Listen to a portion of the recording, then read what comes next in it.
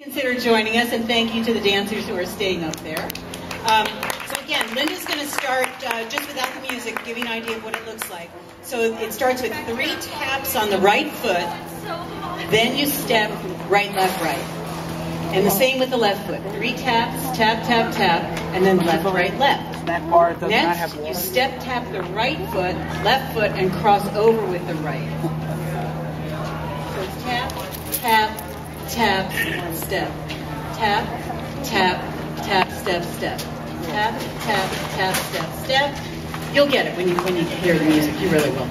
Um, and then you reverse. Yeah, cross over to the left. All right. The next step is a tricky. Is take the basic salsa step. Remember the one that Sunny did? One, two, three, and then back two, three. But we're going to do it sideways. Starting with the left foot forward, then back, and then back up.